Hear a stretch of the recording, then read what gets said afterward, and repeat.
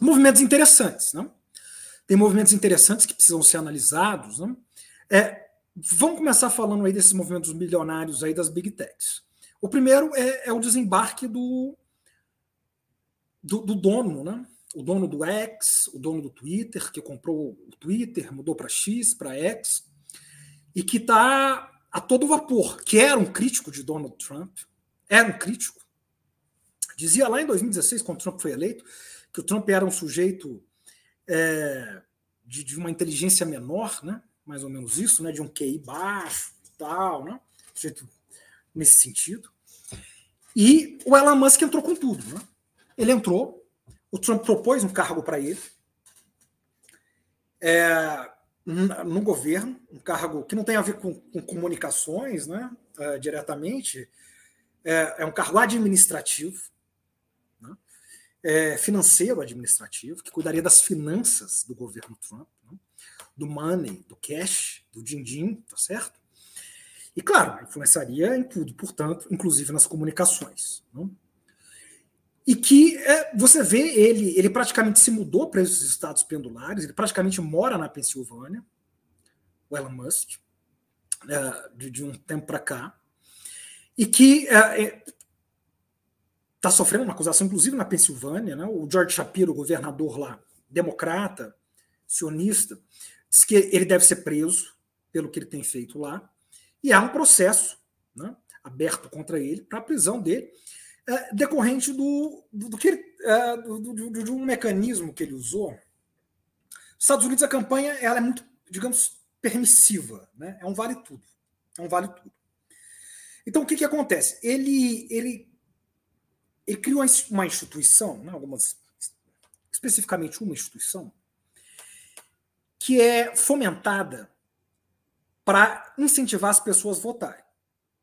Como vocês sabem, nos Estados Unidos isso é fundamental, isso é importantíssimo. Nos Estados Unidos o voto não é facultativo, o voto não é obrigatório, ele é facultativo. O voto, diferente do Brasil, não é obrigatório, é facultativo. Então, um dos grandes desafios, né, basicamente você tem dois grandes desafios na campanha norte-americana. Primeiro, convencer os seus eleitores a irem votar, a sua base a ir votar. E segundo, convencer os indecisos. Se não fizer esse duplo movimento, não se ganha as eleições. Tem que fazer os dois. Porque senão né, você fica vendido. Então, essa é uma das dificuldades que a candidatura Biden teve lá atrás. Né? Biden agora. O Biden não, não convencia, e que a Câmara está encontrando nas pesquisas. O Biden não convencia os, os, não estavam convencendo os candidatos, os, os, eleitores dele, a base dele a ir votar, segundo as pesquisas. Né? Se fosse Biden, né, Biden estaria derrotado. Trump teria sido eleito se, se Biden tivesse continuado. E aí o segundo ponto é, é, é, ganhar essa gente indecisa, né? esse eleitorado que, que vai ali decidir. Mas então a eleição ela é sempre numa terça-feira. E ela é sempre é, não é um feriado, não é como aqui no Brasil, não é um evento assim, certo? Que é feriado, que é domingo, as pessoas vão, vão votar, é obrigatório, não. Há um esforço tremendo dos candidatos para que seus eleitores possam ir votar. Isso, historicamente, né, nas últimas décadas, dificulta a base democrata. É, sobretudo, né, é uma base mais vulnerável né, de trabalhadores, das minorias, né, negros, latinos, que têm dificuldades de, de, de perder horas de trabalho, sacrificar, portanto, é dinheiro, para poder votar. Então há uma briga né, nesse sentido para que é, possa é, sempre campanhas no incentivo de votar, ao mesmo tempo que campanhas, é, digamos, neutras, para que as pessoas votem, tradicionalmente favorece os democratas e tem favorecido os democratas. Pela, pela, pela própria demografia, como eu disse aqui, é, o eleitorado, a conjunção dos democratas tende a ser maior. Então, é, os democratas eles brigam mais para que a sua base vá votar do que Trump. Sobretudo porque os trumpistas, né, eles, eles são mais, digamos, é, imbuídos ali de, de, de razões e, e são mais envolvidos e militantes do trumpismo, então eles já vão naturalmente votar. Os idosos também, aposentados, eles têm mais facilidade para votar, dado que não é um dia de trabalho para eles. É um, é um, público que, é, em geral, claro, com todas as tende a votar, uh, tem votado em Trump, né? Então também mobiliza, diferente dos negros, os latinos, uh, que, que votam na sua a Câmara vai ganhar nesses públicos. Né? O que eu disse lá atrás é que ela está com uma, uma né? os democratas sempre ganham, eles estão com a margem abaixo do que o esperado abaixo dos últimos tempos, das pesquisas, e abaixo do esperado. Mas ela vai vencer. Né? Não tem como, é, digamos, os democratas perderem é, na, na, comunidade afro, né, dos negros, ou, enfim, uh, nos próprios latinos. Então, é, isso dificulta. É, essa é uma questão central. Mobilizar as pessoas a irem votar. Né? Mobilizar os jovens a irem votar, é, é uma questão nos Estados Unidos, assim como é uma questão em todas as democracias, é uma questão é, na Europa, né? nas democracias, enfim, nós temos visto todos os lugares. Então, lá, lá esse, esse, esse, grande desafio. Né?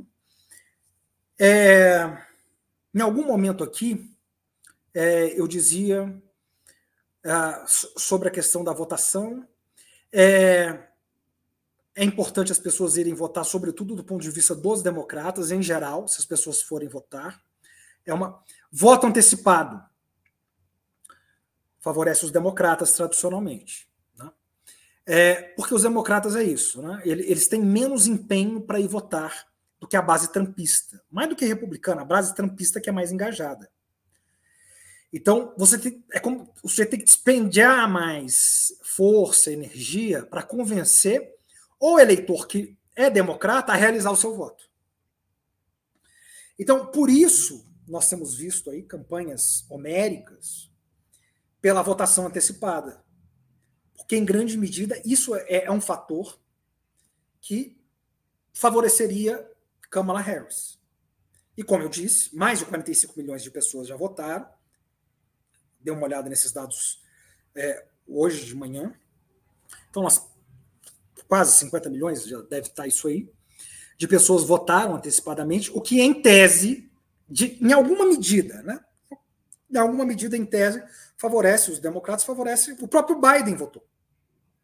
O próprio Biden já votou por, né, por antecipação. Então se pode votar por antecipação.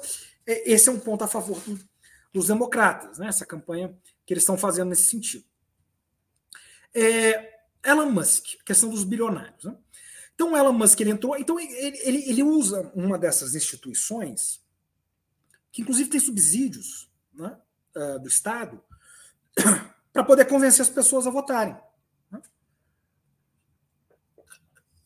Então, qual que é o artifício? Olha, ele vai sortear um milhão de dólares em prêmios para as pessoas que se comprometerem a votar.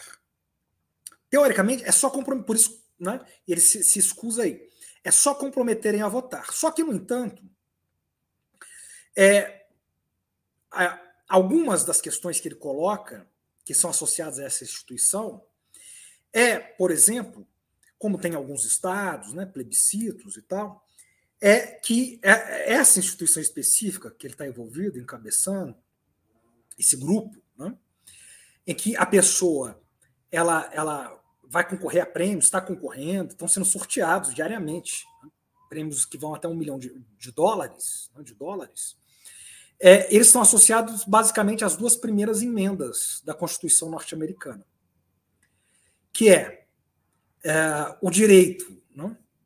à arma e, e quem defende o direito à arma é, sabe-se, né? enfim, é, que, estatisticamente, é, vota nos republicanos, os democratas têm sido críticos com relação a isso, historicamente, e, portanto, vota no Donald Trump.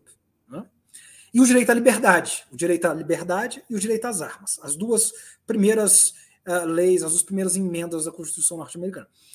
É, e, e, isso é fundamental porque o que ele defende como liberdade é o que a extrema-direita global chama de liberdade de expressão e é uma das lutas que ele tem encabeçado.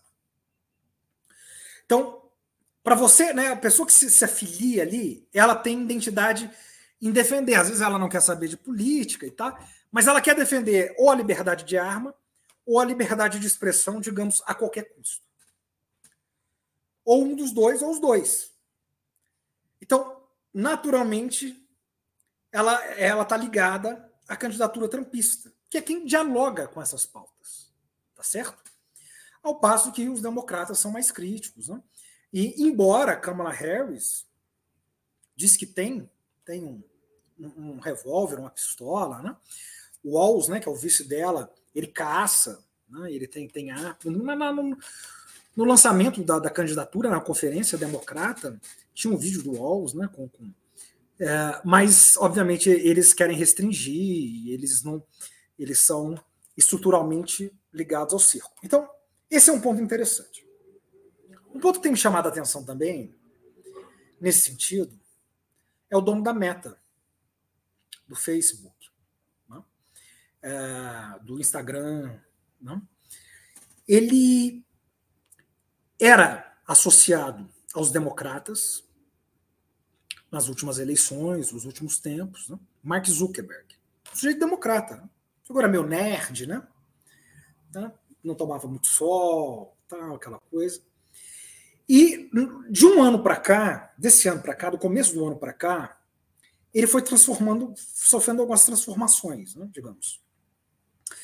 Ele foi, ele, ele, teve uma coisa até que ele chegou a desafiar, ser desafiado pelo Elon Musk, lembra que eles iam para o ringue, né? fazer uma luta aí de, de bilionários. Né? É, ele, ele começou a lutar, é, ele já lutava já, né? Ele fez lutas marciais, né? Mas ele começou a, a entrar muito no mundo da, da UFC, que é um mundo muito popular nos Estados Unidos.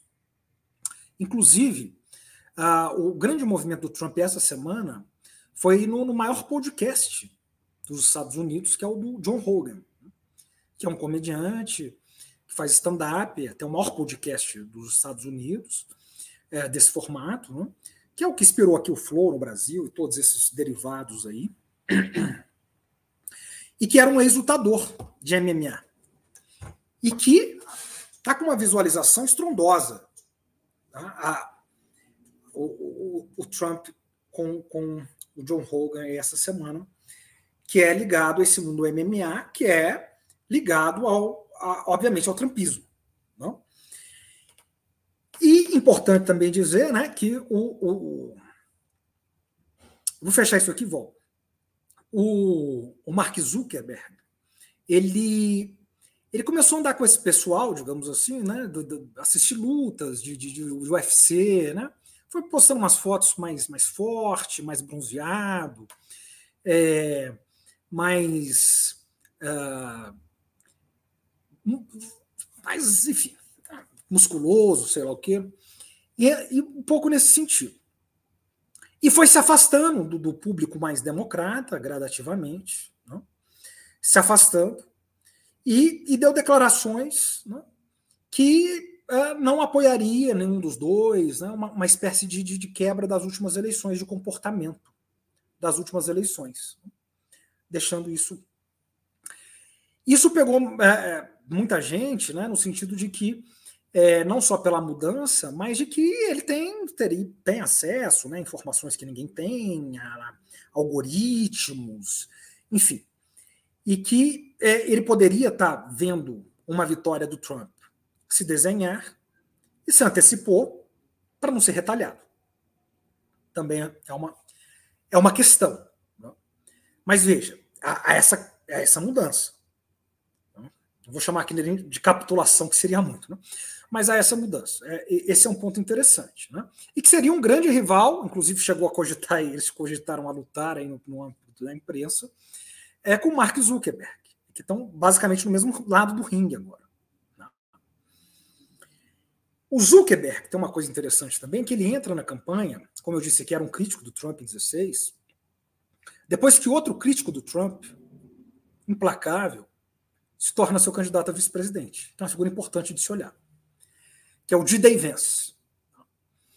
O D. Vance é um candidato, o primeiro vice-candidato a presidente dos Estados Unidos mais jovem da história, tem 39 anos, sub 40.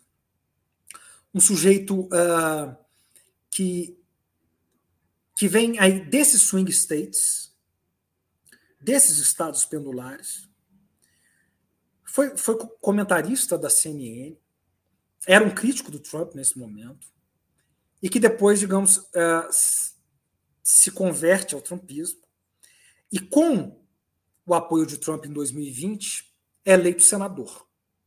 E agora, de uma maneira, é, eu diria quase que inesperada, o Trump traz essa figura, né, um milênio, portanto, né, primeiro vice-candidato com, é, com barba, tá certo? Ah, né, nesse posto candidato nos Estados Unidos, e que, é, graças ao Trump, foi eleito senador, se aproximou do Trump, se aproximou por intermédio uh, de um dos filhos do Trump, eles são amigos pessoais, né? ele fez uma, uma intermediação, e que ficou conhecido, o Vance, né? ele vem de uma, de uma família é, dessas que, que são é, os chamados losers da globalização, os perdedores da globalização, é, basicamente né, de trabalhadores brancos norte-americanos, estadunidenses, que, que foram desalentados com a desindustrialização nos Estados Unidos. Com a ida das indústrias norte-americanas desde os anos 80, 90 e 2000 para cá, para a China, né? para, para o leste asiático. Não só para a China, mas sobretudo para a China e para todo o leste asiático. E, enfim, algumas montadoras para o México, com NAFTA. Né? O Trump é um grande é, crítico do NAFTA, né? que foi feito no governo Clinton. E por aí vai. Ele, ele tem um livro que chama é, uma. A tradução seria Eliud Vance, que chama Uma Elegia Caipira, que ele conta a trajetória dessa gente, né? é, desses, dessas vítimas da globalização, como se diz também, que essa classe trabalhadora empobrecida, né? e, e uma classe trabalhadora, enfim, branca, é, e, e, por aí vai. E que foi um livro que foi best-seller nos Estados Unidos. Ele se tornou o mais vendido na lista de todo, do New York Times e todos os, os grandes jornais e revistas durante meses, semanas e meses seguidos, mais de um ano. E ali ele caiu nas graças dos, né, digamos, do, do, da grande mídia, do debate democrata e tudo isso. Não? E, e, e, ele tinha uma passagem, ele teve uma passagem pelo Vale do Silício, que foi muito importante, porque ali ele conhece o Elon Musk, o Devance. Ali ele se torna, é um sujeito que vence ali no Vale do Silício, né? vem de uma família problemática, ele conta, né? e conta a história de superação dele ali. Né? E, e, que é um, ele, ele, basicamente tem um discurso é, anti-elitista. Né? É, ele diz que os Estados Unidos foram dominados por uma elite, seja ela republicana ou democrata, e que é, é preciso é, basicamente se voltar contra essa elite, que foi o que o Trump fez em 16. E ali, quando a família Trump, os filhos do Trump, um genro do Trump especificamente, leu o livro dele, disse: olha, isso aqui que nós precisamos é tá aqui a nossa receita. Né? Então, o trumpismo ele, ele é uma brecha, né? isso é importante que eu estou dizendo, porque sempre as pessoas me perguntam também, né? As pessoas perguntam, entram lá no meu Instagram e perguntam: como é que explica o sucesso do Trump, né, mesmo com todas as atrocidades que ele fala?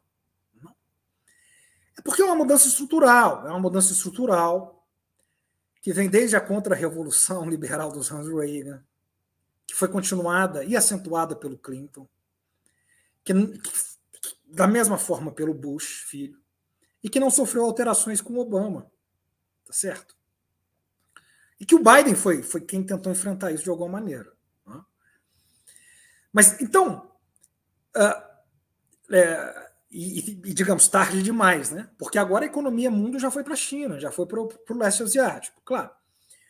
É, é, isso nós discutimos aqui basicamente semana após semana. Mas é, o que é fundamental aí é que lá o Vance ele conhece duas figuras importantes. O Elon Musk, antes de ser o Elon Musk de hoje, dono do, da Tesla e, e, e, e, do X e tudo, e conhece o Peter Thiel, que é o fundador do PayPal, do PayPal. Né? Os dois, inclusive o Elon Musk e o Peter Thiel, foram sócios durante um tempo. E o Divens, ele vira uma espécie de guru desses caras. E guru dessa gente. Os caras gostam das ideias dele. Né? Porque o Vale do Silício é, é um lugar que se tem, tradicionalmente, se tinha democratas e se tinha é, o que eles chamam de libertários lá. Para a gente entender que seriam mais ou menos é, o que ficou comum aí depois da ascensão do Milley, anarcocapitalistas anarcocapitalista. E que o trumpismo é, acabou aglutinando essa gente. Né? Mas, uh, especificamente nesse caso, o Divence, ele, ele, assim que ele foi anunciado, vice-presidente, o Elon Musk declarou apoio para o Trump. Disse que iria colocar 45 milhões de dólares na campanha do Trump, trouxe o Trump para o X, fez uma entrevista com ele no X, no X, no Twitter, e reabilitou o Trump que estava banido do Twitter depois de muitos anos. Então ele colocou tudo na campanha do Trump. Por essas conexões que passam pela família Trump com o vice, o candidato a vice-presidente do Trump, o de Vance. Né? E o Peter Thiel, que é, é, é, um, é desses bilionários, ele é um dos conhecidos aí nas redes, né? Por ser um dos maiores extremistas e, e, e defensores do extremismo na, na, coisa da ponta, né, na internet, de tudo que se tem é, por aí. Então, veja, né, esse, esse, é um ponto que, que vai ter muitos desdobramentos se o Trump né, for eleito uh, no dia 5, embora, né, eu acho que ninguém vai ser eleito dia 5. Eu vou fechar falando disso, né, já já. Ninguém vai ser eleito 5. Nós vamos falar sobre isso. Mas esse é um ponto importante. Uma outra figura é o Jeff Bezos. O Bezos, que é o dono, vocês sabem, né, o segundo maior bilionário do mundo, né, atrás só do, do Elon Musk. É, eles oscilam ali, né? Às vezes um passa o outro, às vezes ele é o cara mais rico do mundo. Né? Nós estamos falando aí, gente, de, de mais de 200 bilhões de dólares por cabeça. 200 bilhões. Então, você que está aí, tá certo? Tenta tentar imaginar o que, que são. Que, que é 100 bilhões de dólares. Né? Você tentar cifrar isso, tenta colocar em número, né? escrever 200 bilhões, 100 bilhões assim, né? no papel. Né? É disso que nós estamos falando por cabeça. O Jeff Bezos é uma figura importante nessas eleições. E aí tem, tem um ponto que, que precisa ser analisado. Ele é dono do, do, do do, do, do, Post, né? que é o jornal tradicionalíssimo dos Estados Unidos, que quebrou, né? como toda a imprensa quebrou, é, em 2012. Em 2013 ele compra é, Washington Post, Post, Washington Post, porque tem o New York Post também. Né? New York Post é outra história, nós vamos falar sobre ele aqui também, que tem a sua peculiaridade importante. Mas o Washington Post, desde 2013, é do Bezos. Né? E o Bezos e o Washington Post obviamente há mais tempo, né? uh, desde o governo Carter, né? o Washington Post eles uh, apoiam os democratas publicamente. Os Estados Unidos, né, ao contrário do Brasil, tá certo? Isso aí eles eles sabem, né? É, eles, eles têm o, que ensinar, digamos assim. É, ele, a imprensa ela declara, você sabe, ela, ela tem posição. Né? Então, é, o, a CNN é democrata, a Fox é republicana, quem assiste já sabe, né? É, porque eles, é, no seu editorial, já dizem assim, já se assumem assim, né? O New York Times é democrata. Então, o New York Times ele abre o editorial dizendo: nós, vamos, nós somos contra Trump por isso, por isso e por isso, somos a favor de, de Harris por isso, por isso e por isso, e fazem a cobertura deles. Né? A partir daí, é, enfim, né?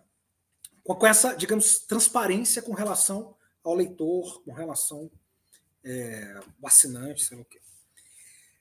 Bom, o Jeff Bezos, esse ano, quebrou uma tradição do Washington Post, que vem desde os anos, uh, desde Carter, e que, desde que ele está à frente de 2013, era irretocável de apoiar os democratas. O que, obviamente, né, provocou uma, um, um abalo sísmico na, no debate público e na imprensa norte-americana. Robert Kagan, que é uma figura proeminente no pensamento norte-americano, era o editor de opiniões, editor-chefe de opiniões do New York Times, junto com 11 colunistas, é, se demitiram. O Kagan faz um pronunciamento muito duro, dizendo que o Jeff Bezos, o dono, do Washington Post, dono da Amazon, como vocês sabem, não é isso? Ele vendo, e, são, são palavras do Kagan. Eu vou falar quem é o Kagan rapidamente aqui, para quem. Ele diz o seguinte: vendo a, a, a, vitória do ponto de vista do Washington Post, portanto, do Jeff Bezos, a, a iminente vitória do Trump, eles se curvaram, foi a expressão que ele usa. Jeff Bezos se curvou. Robert Kagan é um do, é, é talvez o maior é, arquiteto da política externa, é, de pensamento da política externa norte-americana desde os anos Clinton. Ele é um daqueles sujeitos das portas giratórias, né, dos think tanks. Sempre estava lá, sempre está em Washington, né, é, desde o governo Clinton, mesmo no governo Bush, que era um governo republicano, ele teve influência. E no governo Obama, né, o Obama andava com a, o livro do Kagan era a Bíblia do Obama. Ele andava com o livro do Kagan debaixo do braço. E, obviamente, agora no governo Biden-Harris. Ele é companheiro, ele é casado, marido de Victoria Nuland. Estava no governo, uh, todos esses governos aí, né? mas teve muita proeminência no governo Obama-Biden quando Obama era presidente, o Biden vice-presidente, e Hillary Clinton secretário de Estado, tá? quando houve as revoluções coloridas e o Maidan na Ucrânia em 2014. Cai o governo ucraniano, digamos, cai, é, que era um governo pró-Putin, e depois o Putin anexa a Crimeia. E ali, de alguma maneira, vai começar a guerra. Né? É, a guerra na Ucrânia, que vai depois né, se culminar finalmente em 22. A Victoria Nuland, quando teve o Maidan, ela estava lá. Ela estava na Ucrânia. Né? É, eles fazem parte de uma linhagem, né? enfim, a gente sempre discute isso aqui, né? que, vem, que vem do Brzezinski, né? que é o grande opositor nos Estados Unidos, né? o grande, digamos, grande último pensador da política externa norte-americana, ao Kissinger. Kissinger embora ambos influenciassem os dois lados, o Kissinger muito ligado aos republicanos, né, desde o governo que ele foi secretário de Estado, o Nixon, e por aí vai, né? E, e, e o, o, digamos, o, o, contrapeso do Kissinger, e, e que, né, em algum momento, foi, foi o, o Brzezinski, né? E, que fez vários discípulos, né? Madalena Albright, Antônio Blinken, uh, que está hoje, no, que é o secretário de Estado hoje do governo Biden-Harris, né? Jake Sullivan, né? são discípulos uh, diletos né? do, do Brzezinski. E uh, o Kagan é, é, é, um, é, um, grande mentor né, desse governo Obama, é, desse governo Obama-Biden e desse governo Biden-Harris. Então, e isso foi uma, uma sinalização né, muito interessante e muito forte essa, essa saída do Bezos. Então você tem um movimento do Bezos, tem um movimento do Mark Zuckerberg e tem o movimento do Elon Musk. Né? Os três, né? se não colocando tudo como fez mais especificamente o Elon Musk a favor de Trump, desembarcando da candidatura democrata que provocou, digamos, todo esse reboliço aí. Acho que isso é um, é um ponto importante para ser considerado.